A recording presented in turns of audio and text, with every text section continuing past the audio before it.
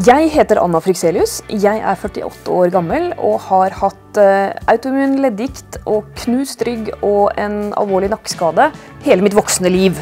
Jeg fikk sklerodermi som 11-åring, eh, reumatoid artritt som 18-19-åring og knuste ryggen som 21-åring. Så fikk jeg nakkeskade. Så jeg har kroniske smerter, kroniske muskel-skjelettsmerter. Og ble gitt opp av helsetjenesten i en alder av 25 overlatt til meg selv. Eh, de kasta uføretrygd på meg. Det har jeg klart å komme meg ut av. Jeg jobber nå Jeg har jobbet 100% som fagsjef i Norsk Grammatikkforbund i eh, de seks siste årene.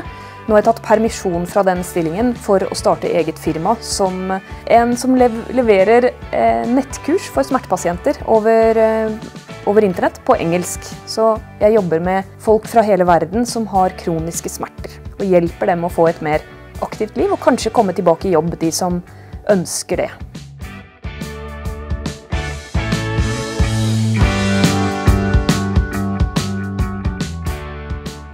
Jeg eh, gikk på vanlig skole, og da ville jeg bli eh, glasiolog, isbreforsker. Eh, etter jeg fikk leddgikt, så viste det seg at da kunne jeg ikke regne med å kunne gå på noen isbreer, så da var ikke det like spennende. Jeg studerte ved Universitetet i Oslo først matematikk og informatikk. Eh, så byttet jeg til språk, lingvistikk, oversettelse. Eh, for jeg tenkte at jeg, uansett hvor funksjonshemmet jeg var, kunne jeg alltid jobbe som oversetter. Jeg klarte å studere normert helt til jeg skadet nakken og fikk sånn veldig sterke nakke- og hodesmerter. Da klarte jeg ikke å studere normert lenger. Og måtte ha ganske mange, mye tilrettelegging, for jeg kunne ikke sitte eller jeg måtte ligge. Jeg hadde sittehemming, som det heter. Og da måtte jeg søke uføretrygd. Da var jeg 29 år gammel. Så ble jeg 100 ung ufør. 29 år gammel. Etter det Ja, etter det da, da, da, jeg ble ufør, så Det var jo en kjempesorg. For det var jo det jeg hadde slåss mot altså, siden jeg ble syk. Da hadde jeg brukt ti år av livet mitt da, på, på å slåss for å være så frisk som mulig til tross for disse sykdommene. Og da sa mannen min eh, jeg vil ikke være gift med deg. For det er en skam å ha en ufør kone. Så dermed var jeg da singel, ufør, nei, fraskilt og eh, mistet jo da også leiligheten hjemme som vi delte. Så det var, det var, en livskrise, kan du si. Da gråt jeg. Da var jeg skikkelig deppa. Eh, og så når jeg hadde fått den trygden, så tenkte jeg ok, nå har jeg økonomisk trygghet. Nå må jeg gjøre det jeg kan for å bli så frisk som mulig. Og det begynte jeg med da. Det var det. Um, så når jeg var 30 eh, da, trente jeg meg opp. Og jeg ville trene meg opp mot et mål, ikke bare for å klare å gå til butikken og tilbake og være ufør. Jeg ville gå pilegrimsferden til Santiago. Så da gjorde jeg det.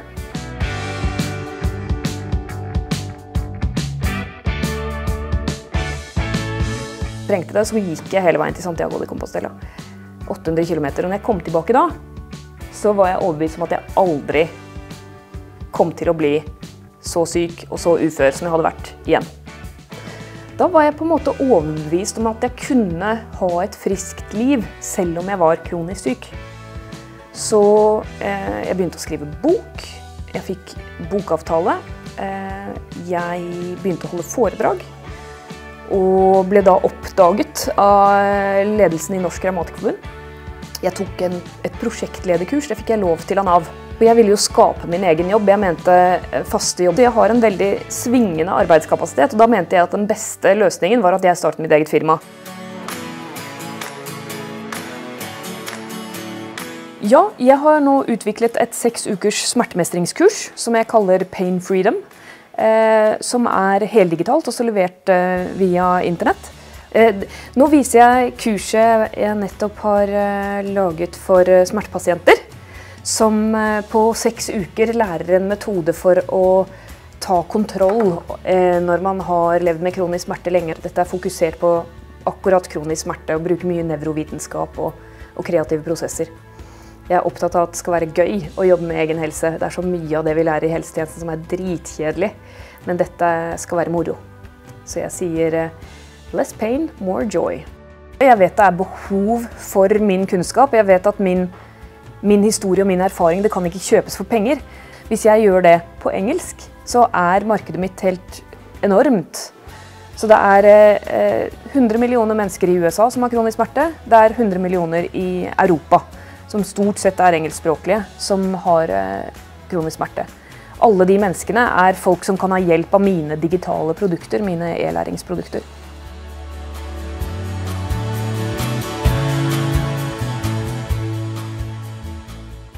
Jeg pleier å si når jeg holder kurs om smerte, både til helsepersonell og pasienter, at det å leve med kronisk smerte det er litt som å ha en kran på brystet, hvor kreftene dine, altså livskraften din, bare renner ut.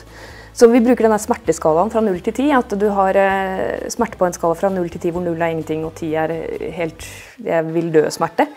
Eh, og jeg opplever at jo høyere opp på skalaen jeg er, og jeg lever jo livet mitt på denne skalaen, så, eh, så, er det som om den kranen står mer åpen. Da. Så over fem så renner kreftene ut veldig fort.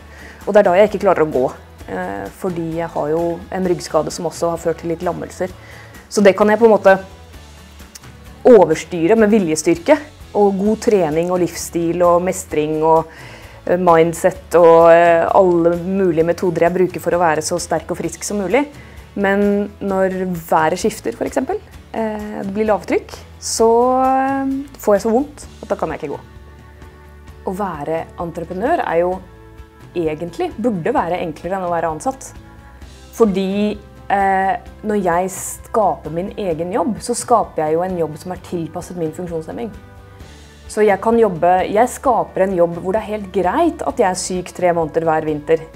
Hvor jeg ikke trenger å gå ut av døra tre måneder hver vinter.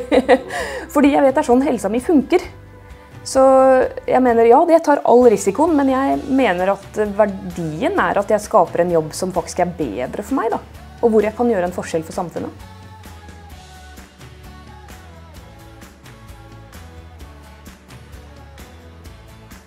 Ja, det er dritskummelt å prøve å komme ut av uførhet. Du må jo ta all risikoen selv. Og, og, da hvis du har en kronisk sykdom og har muligheten til å velge mellom uførhet og jobb, så er uførhet alltid det tryggeste.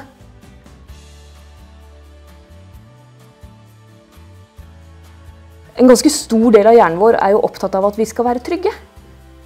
Liksom økonomisk, fysisk trygghet. Hvis jeg fortsetter å gå på uføretrygd, så får jeg i hvert fall dekket regningen. Jeg får mat og strøm. Jeg har det jeg trenger. Og jeg har også på en måte en sosial posisjon som selv om den ikke er eh, veldig akseptert, så er den trygg. Men hvis jeg prøver å jobbe, så er risikoen veldig mye større for at jeg mislykkes.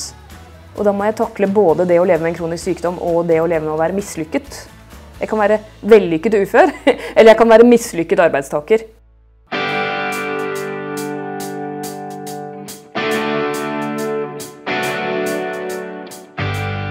40% av alle uføretrygder kommer fra muskel-skjelettsykdom og skade. Dette er et problem som samfunnet ikke klarer å løse. Og jeg mener at jeg har en mulig løsning, i hvert fall noe som kan hjelpe veldig mange. da.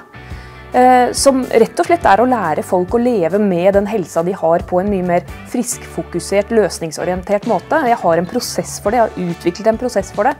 Så jeg vil hjelpe folk å komme tilbake til samfunnet, enten det er i jobb eller eller i sivilsamfunnet eller i lokaldemokratiet, eller hvor de nå vil være aktive.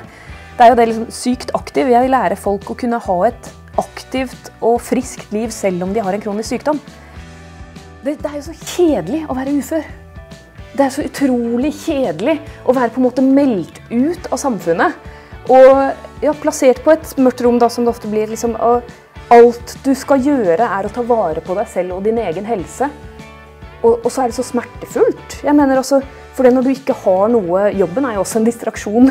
og jobben er jo også en motivasjon til å gjøre alt jeg kan for å fungere så bra som mulig med den helsa jeg har. Og det er det jeg vil lære andre. For det er mulig for alle. Jeg vil ikke at noen skal oppleve det jeg opplevde. Å sitte aleine på det mørke rommet med uføretrygden og pilleglassene jeg vil hjelpe folk som er der. Det, det, er driven min hele tiden.